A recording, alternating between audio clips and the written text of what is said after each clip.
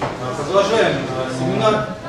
Вторая тема по регламенту порядок расчета безопасной высоты топлива с учетом фактических метеоусловий. Лекцию освещает наш инструктор. Можно я это положу? Меня слышно? Хорошо? Да, да, да. Уже рад.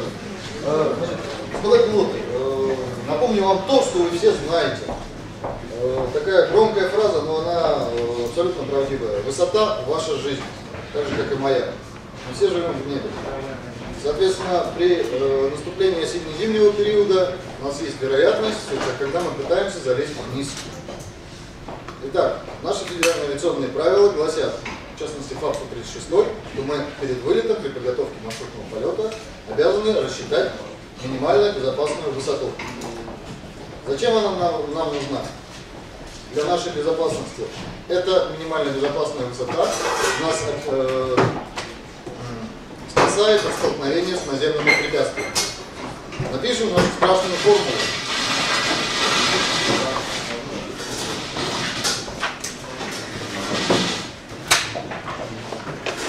Так, высота в авиации у нас обычно назначается латинской буквой H.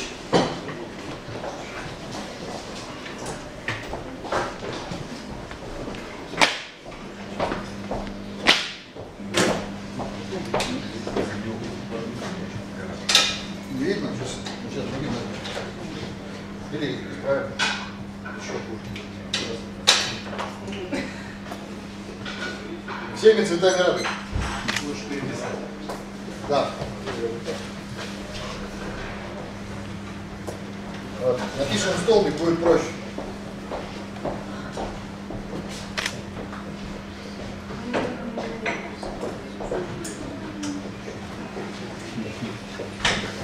Знаете, что с фломастерами совсем Итак, начнем с самого верха. Высота истинная безопасная. Откуда у нас берется? Из, какого, э, из каких параметров мы, мы ее выбираем? Мы ее выбираем, э, исходя из параметра, что в полосе по 25 км в каждую сторону от участка маршрута мы должны определить местность. Холмистую, равнинную э, или горную. Итак, что же у нас называется равнинной местностью? Это местность, в которой перепады высот от 0 до 200 метров. Холмистая местность, перепады высот до 500 метров. И на той, и на другой высота истинная безопасная выбирается из расчета 100 метров над наивысшим э, препятствием. Раз. Второе. Горная местность. Горной местностью считается все, что выше 500 метров. От 500 и выше. Два правила визуальных полетов. Мы обязаны взять превышение над э, э, максимальным препятствием 300 метров. Итак, истинную безопасную мы выбираем по, э, э, именно из э, объективных данных по местности. Взяли, проложили маршрут, откинули по 25 километров, посмотрели, э, посмотрели наш рельеф. Э, Кто был на крайней лекции по навигации в хелипорту, я приводил такой простейший э, маршрут э, Банькова, Волоколамск, Ватулина. И даже на этом простом маршруте мы обнаружили одну такую маленькую особенность. У нас между Буньково и Волоколамском идет повышение высоты на 100 метров. Казалось бы. Э, Перед Волоколамском там действительно начинается превышение, и точка, одна из точек э, имеет превышение над уровнем моря 305 метров. То есть в один прекрасный момент мы можем остаться без, э, войти в облака, получить приборный полет. Со всеми исходящими отсюда неприятностями. Как то объединение, сам приборный полет и прочее. Возможно такое? Возможно. Помимо, помимо этого, то, что, э, это что касается высоты рельефа. Помимо этого, особенно опять касаясь э, московской зоны, у нас есть куча всяческих препятствий. Это и линии электропередач, всякие сотовые вышки. К сожалению, ни э, GPS-навигатора, ни наши карты УКЛ опаздывают с, э, с этими данными. Не все вышки промаркированы. Тем не менее, при подготовке к полету мы обязаны взять, это наша жизнь. Итак, когда мы рассчитываем эту нашу минимально безопасную высоту, мы э, защищаем себя любимого от столкновения с наземными препятствиями. При наступлении зимнего периода, то э, есть еще одна маленькая очень важная вещь. Так, та самая температурная поправка, о которой очень много мы говорили, но при этом почему-то про нее забывают. Итак, ну представим такую простую ситуацию. Мы взяли бутылку со спиртом, в теплом помещении налили полбутылки и вынесли на мороз в минус 10. Что будет с бутылкой? А через сколько времени? Да не важно, через час. Через час пустая будет. Мы же на мороз вышли. Логично, все-таки физическое свойство. То, что она будет пустая, это потом поговорим. Все-таки, если мы ее вынесли на мороз и, и там поставили там, не знаю, 20 собак вокруг нее. Что пластиковая Замечательно. Все правильно. Зимой предметы имеют свойство сжиматься. Наш э, высотомер, наш барометрический высотомер, его устройство знают все прекрасно. Внутри находится анероидная коробка, которая э, дает ошибку с понижением температуры. И ошибка у нас куда уходит? Ответ? Правильно. Нам высотомер показывает завышенную высоту, хотя мы летим ниже. Э, мы, когда скажем так, на крайней лекции обнаружилась такая вещь. А, мы с Александром Михайловым, нашим любимым всем известным лодочником, а, у нас не совпали данные. ФАП-136, тот самый наш любимый, нас обязывает рассчитывать температурную поправку по формуле, температура нулевая, то есть на, на аэродроме, минус 15, деленное на 300, и умноженное на вот эту всю сумму. То есть действенная безопасность, высота рельефа, высота препятствий. Кому-нибудь видно что-нибудь? Или мне все-таки фломастер носил? Да, да. Все здорово, все классно, и в итоге поправки получаются ну, э, достаточно незначительные. 5 метров, 7 метров, 8 метров.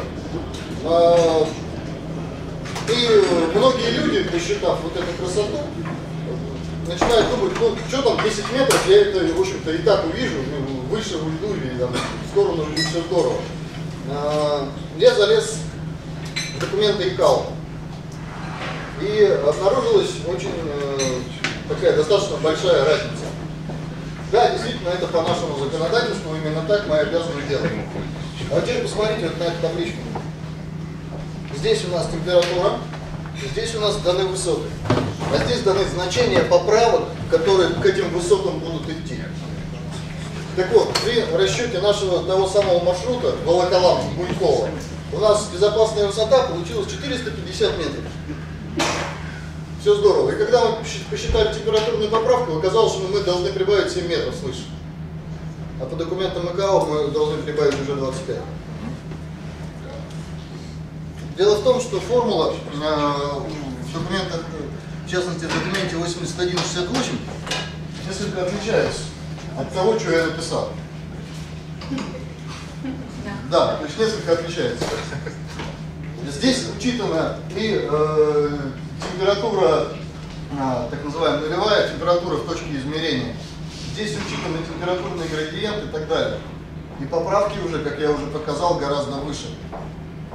Я так думаю, что в самом ближайшем будущем Россия перейдет на документацию ИКАО и э, будет совмещение. Возможно, что здесь еще подобная коллизия произошла за счет того, что мы переходили, мы переходим очень постепенно от наставления по производству полетов НП-85 уже к, к нашим ФАПам и дальше э, э, действиям по ИКАО. Возможно, что это в конструктиве высотомеров. К сожалению, на это я ответить пока не могу.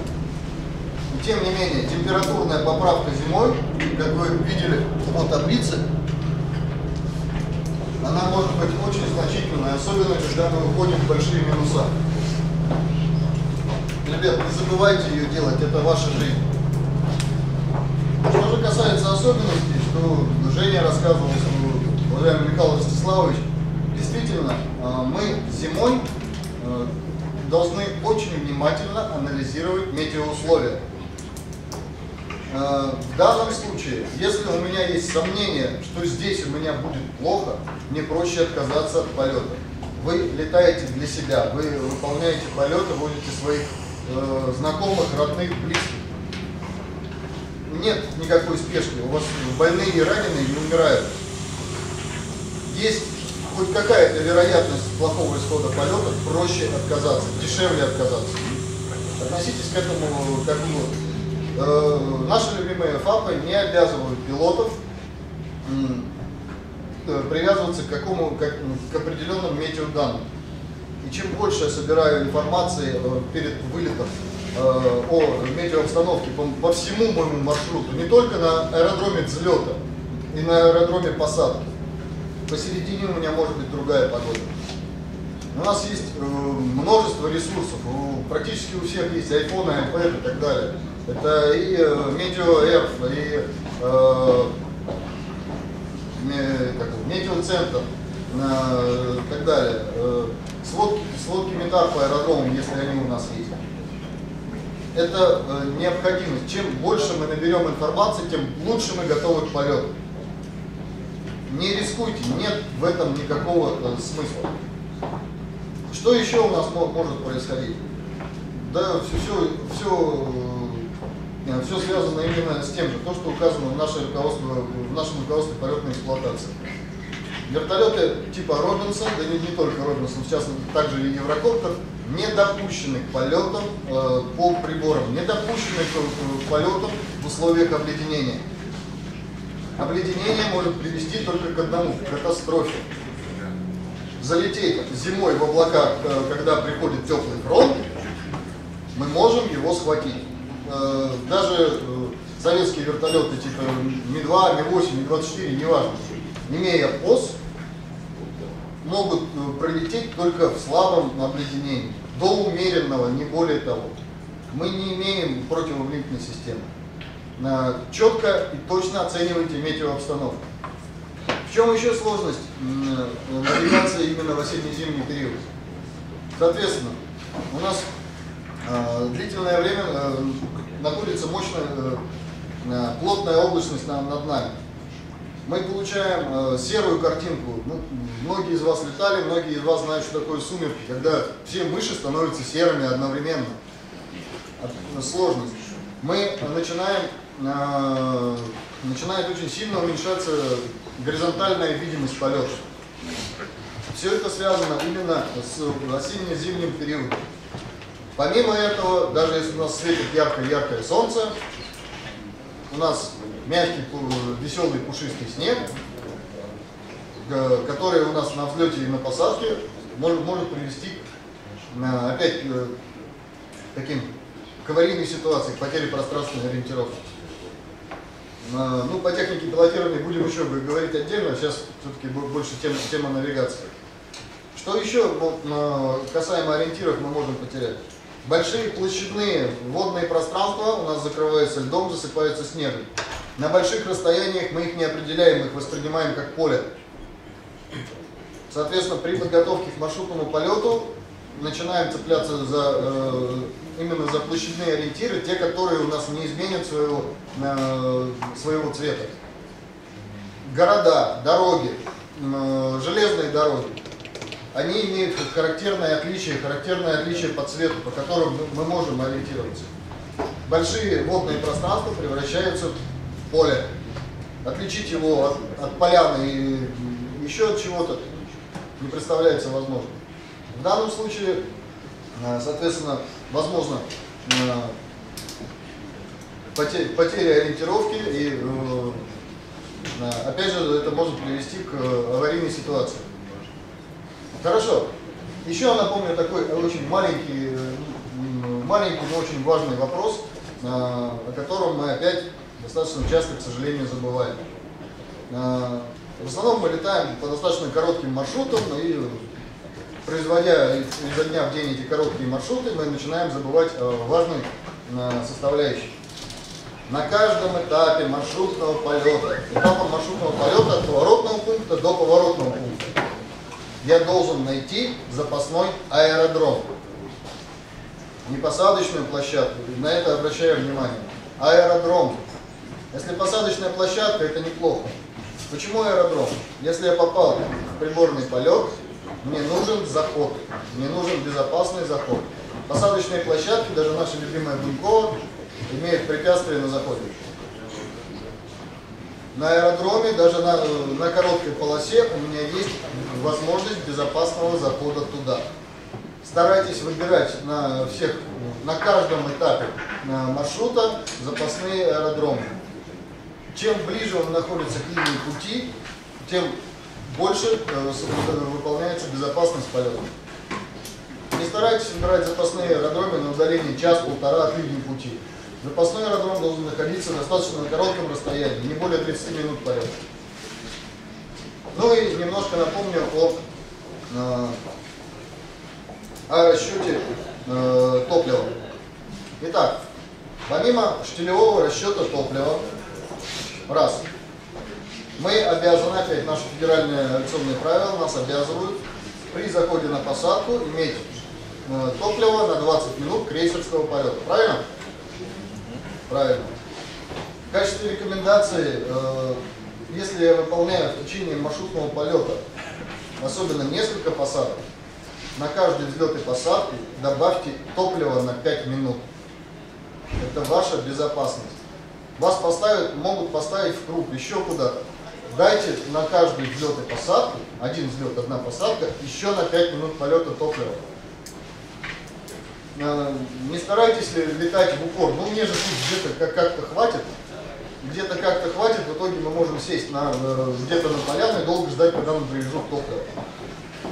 Возможно и такое.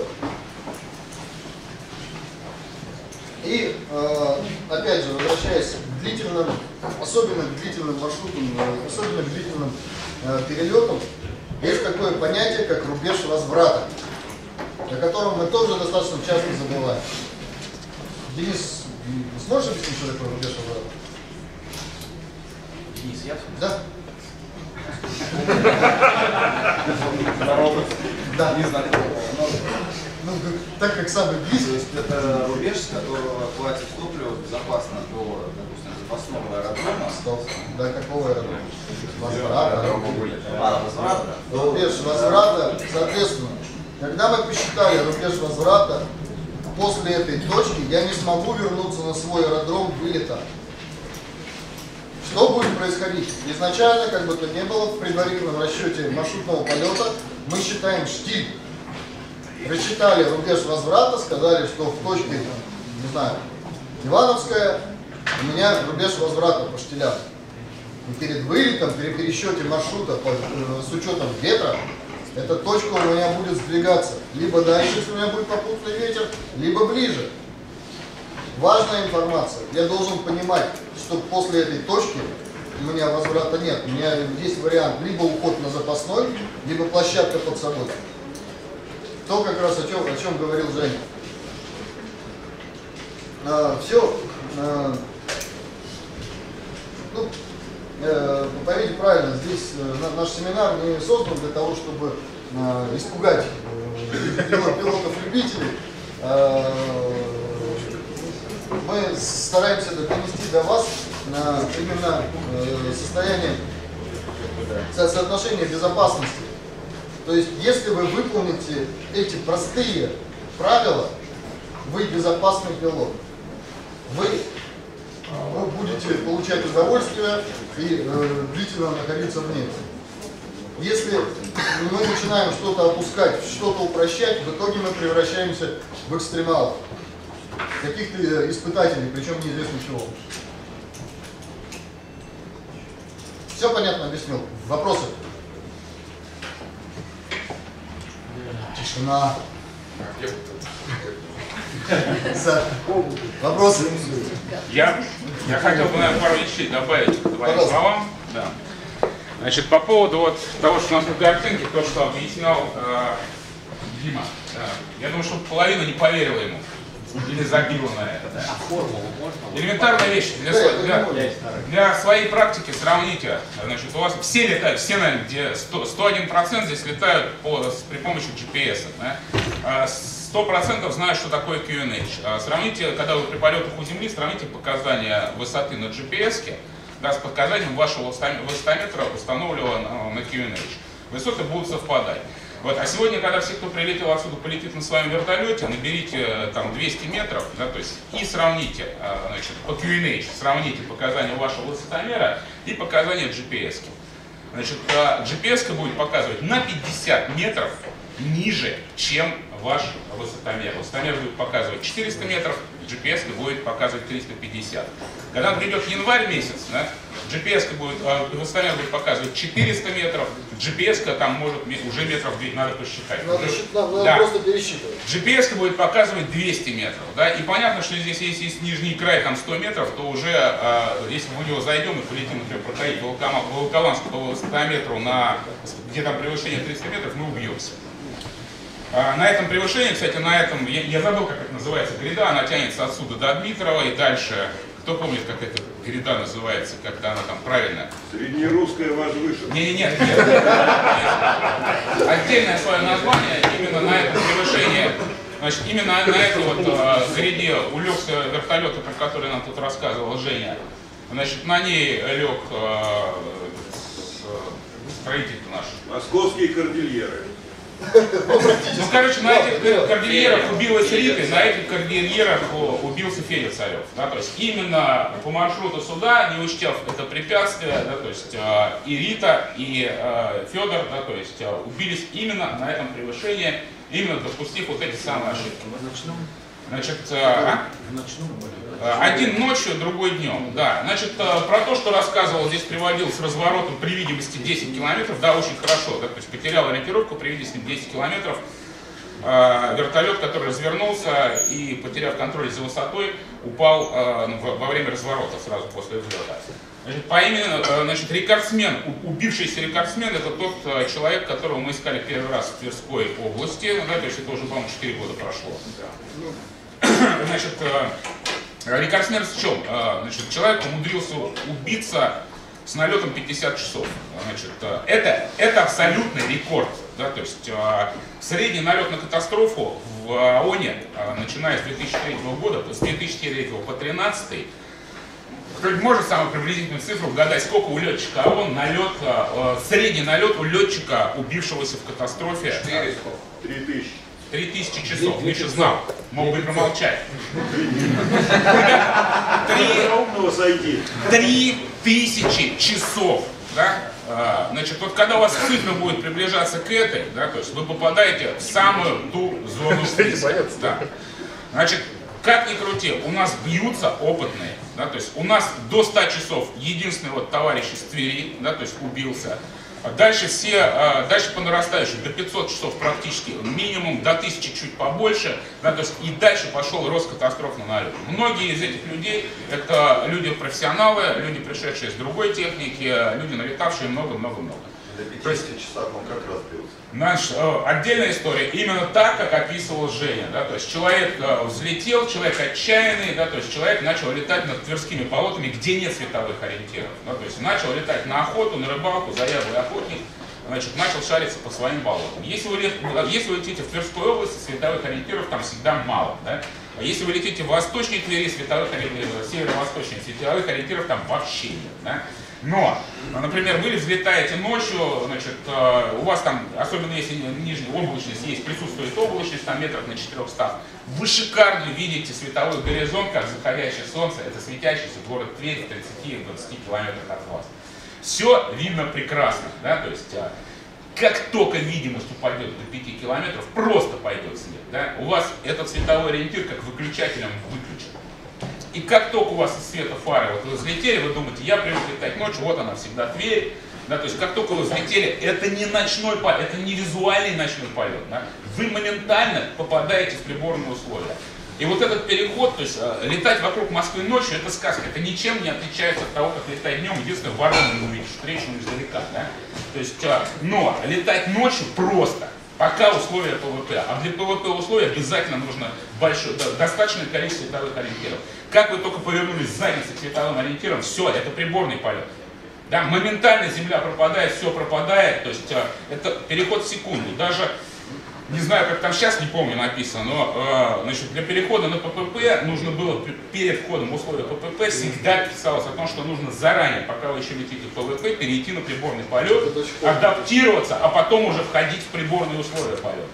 Когда вы ночью разворачиваетесь от световых ориентиров, вы переходите на приборные полеты э, моментально. Если вы в прошлом году летали по приборам, да, то есть э, там, год назад, полгода назад, это не значит, что вы сейчас э, полетите по приборам.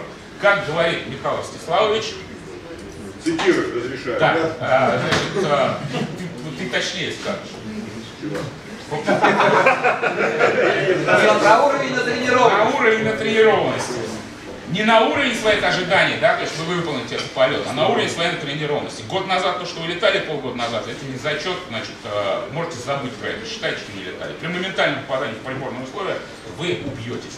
Еще из, один, из одна из, при- э, из приведенных здесь катастроф, это, значит, э, Яна, да, то есть Дима Мартынова, в 2010 году, о которой как раз рассказал э, Женя вкратце. Да, то есть это была первая катастрофа, когда не пришлось искать воздушное судно. Да, то есть он убился посередине Онежского озера, э, попал в снежный заряд, э, он избегал приборных условий, он сам откровенно говорил, что не хочет, не, не летает в них.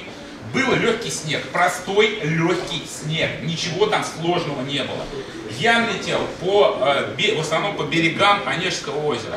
Значит, до точки оставалось 20, э, залив километров, наверное, 5 шириной, сейчас вот точно не скажу, Ну, километров 5 шириной, заливчик, март месяц, да, нужно было либо вот так пройти лишних 20 километров, либо вот так вот 5. Да. Когда он вышел на этот залив, пошел снежок. И, начал, и, и все стало белое на белом. Подлетаете зимой, даже здесь, в Подмосковье, к небольшому полю. Да, то есть а, вам кажется, что вы вот, э, так хорошо видите очертания этого поля с другой стороны. Вы, например, крадетесь на то есть, если вас при выходе на это поле застанет э, у- увеличившиеся осадки, да, вполне возможно, что ваше Онежское озеро будет буквально вот э, в районе там, первой зоны. да. то есть, э, когда у вас пропадет лес, и все останется белым, элементарно, сразу, моментально вы попадете в приборную. Что-то еще хотел добавить? Сейчас, э, А? Ну, землю искать не надо, это отдельная долгая тема. Да, ну, скажем так, я сейчас здесь маленькую картинку нарисовал. В данном случае я нарисовал э, приход того самого теплого фронта. Он будет так. И э, неграмотный пилот, видя, что у него видимость э, понижается, начинает искать землю. Опять неграмотный пилот, который забыл о том, что такое безопасная высота и что э, э, надо э, учитывать эти, эти особенности, начинает уходить вниз. В итоге в один прекрасный мо- момент он попадает на беспредельно малой высоте, приборные условия. Дальше все то, что, о чем рассказывал Александр и Евгений. Сейчас Михаил Ростиславович э, нам покажет интересный ролик, как раз по, по белизне. Я думаю, будет интересен всем. Воздух ошибок э, прощает очень мало. Относитесь к подготовке маршрутного полета к любому полету. Серьезно. Высота – это жизнь. Оценка метеоусловий – это жизнь. Попасть в приборный полет, э, потерять пространственную ориентировку, попасть в условия обледенения – это не наша цель. Наша цель летать долго, безопасно и в свое удовольствие. Сейчас буквально две, две минуты и как раз посмотрим данный ролик. Вопросы пока еще не появились?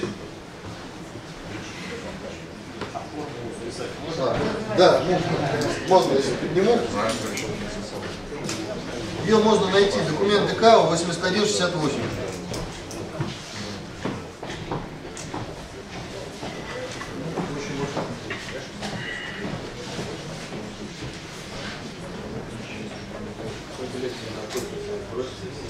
Э, Нет, там надо выжимки э, брать, то есть э, очень много написано для самолетов, э, написано грамотно, в общем-то в этом надо разбираться. Когда конкретно по, этой, по этому документу можно читать не одну лекцию, касаемо только ее.